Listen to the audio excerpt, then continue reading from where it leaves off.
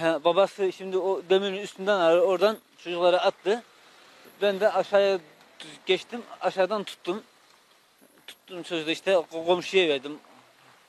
Dün gece sabaha karşı saat 4'te e, normalde ben mesela 4.30'da geliyordum. Bugün erken geldim. E, burada yangın çıktığını gördüm. Sonradan hemen ilk, önce itfaiyeyi aradım. Sonra baktım e, yangın çoğalacak. Hemen çocuklara atmasını söyledim. Çocuklara attı. İki tane çocuğu vardı. İkisini de tuttum. O arada ben şey yaparken bir komşusu geldi bir tane bayan. Çocuğu tuttum. Çocuğu birini ona verdim. Diğerini tuttum. Ondan sonra çocuklara üşümesin diye battaniye attılar. Battaniyeyle karşı binadaki komşuya teslim